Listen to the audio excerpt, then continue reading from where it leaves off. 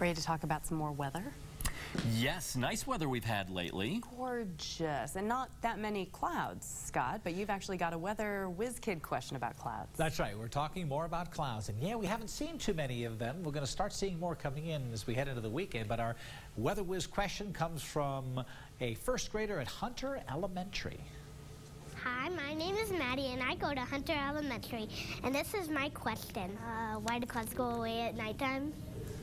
There you go. Why do clouds go away at nighttime? And I thought that's an interesting question. Why do clouds go away at nighttime? So I wanted to pull this apart because one, one part of the answer is very, very simple. The other part is not quite as simple. We'll talk about that. But you may remember last week I was talking about clouds and how some clouds are white, some clouds are dark. You see it right here. Notice the bottom of the cloud here, very dark, very dark here, but the sun is shining here. The simple part of the answer is when you take the light away, you just don't see them and they're really not gone, so the clouds stick around.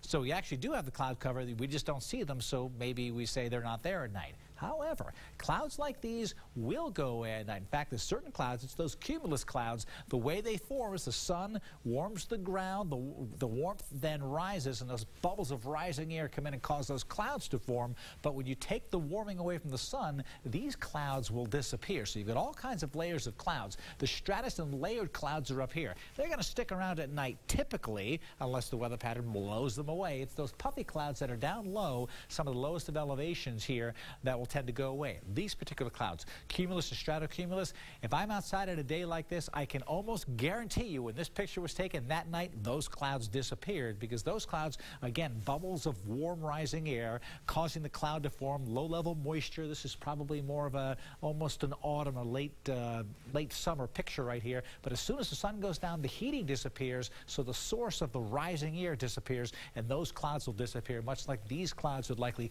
mostly disappear as well. So there's the answer. Part of it is so simple that they really don't hmm. disappear. We just don't see them. When you take the light away, you can't see them. But the other part, a little bit more complicated right there. Guys, there you go. What do you think? I like it. Yeah, nice That was him. good. Now you know.